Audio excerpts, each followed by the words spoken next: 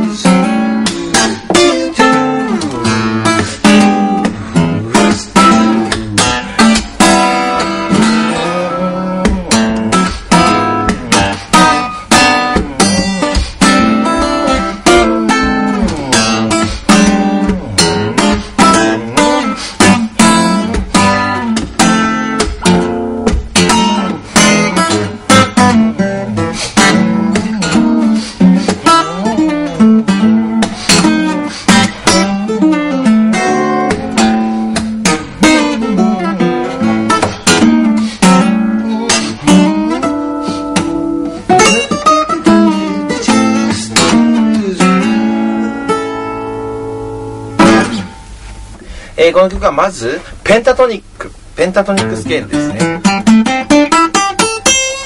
このスケールを使ってます。そしてフラット語というこのブルーノート。を使ってこう雰囲気を出して「ふったらったティーリで」この、えー、2拍目を叩く。2拍目4拍目を叩いていますがこう叩き方はこういう風に爪を当てるように。叩きます。そしてポイントは親指をこうまたはこの5弦に当てるか4弦に当てるかぐらいの位置でってやるといい音がチッとします。このまあ基本はこの弦をフレットに当ててるわけですね。それをというふうに混ぜます。1と2 3と4とうんてるてて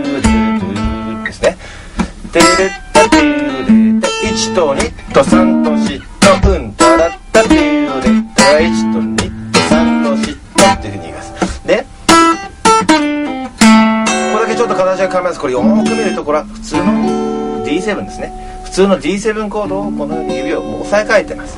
なのでこの、えー、4小節目のこの4弦の7フレット。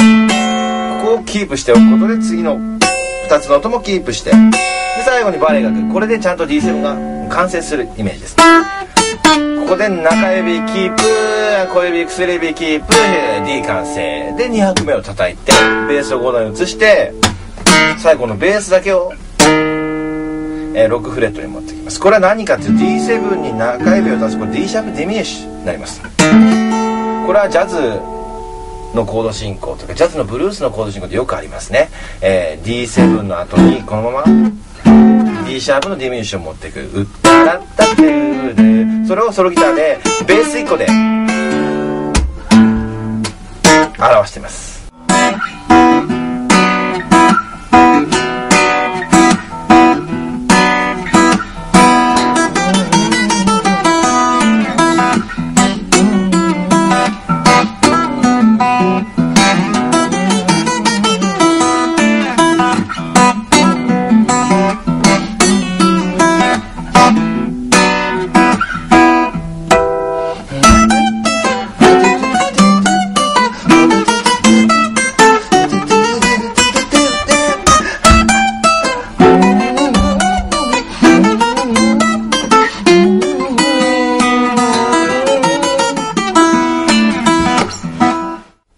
の曲の特徴は、えー、5拍子ということですね、えー5拍子の取り方は1と2と3と1と2とというふうに、いえ3拍2拍に分けて、えー乗るといいと思います。1と2と3と1と2と1と2と3と1と2と1と2と3と1と2と1とと3と1と。2という具合ですね、えーそれで、えーコードについての説明はこの後しますがまずリズムをつかむために1と2とというふうにあの言いながら弾いてみたいと思います。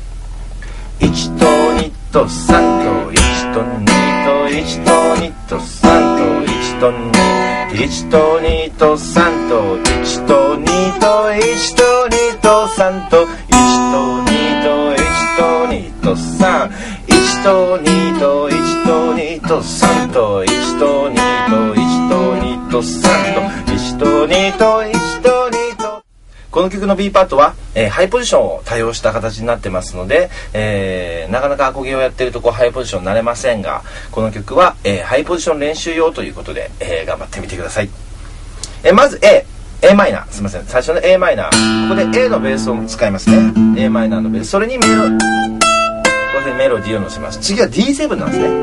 この D7 の形を薬指を省略して。